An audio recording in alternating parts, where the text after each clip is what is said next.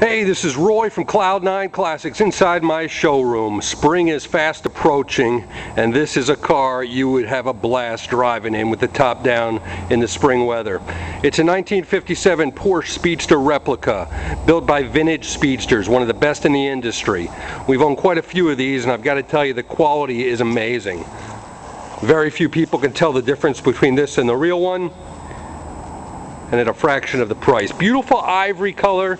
This one's got just over 9,000 miles. Bought it from a gentleman out of Houston, Texas, who was the original owner. Great Porsche badging, Porsche hubcaps,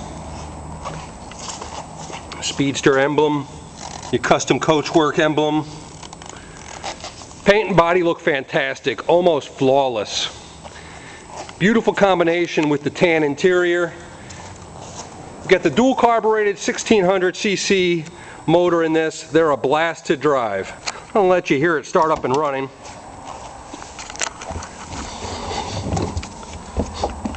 The uh, odometer and speedometer are in kilometers on this one, so it reads 14,593, which converts to just a little over 9,000 miles. The build is about four years old, so a little over uh, 2,000, 2,200 miles a year. Fires right up. Great banjo steering wheel.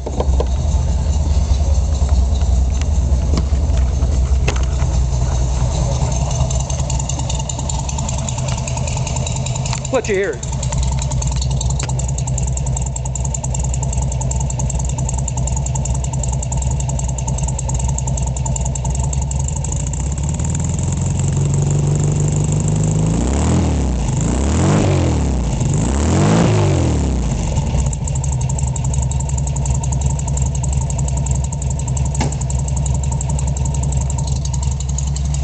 If you've been on a search for a beautiful Porsche Speedster replica, this is definitely one you don't want to pass up on.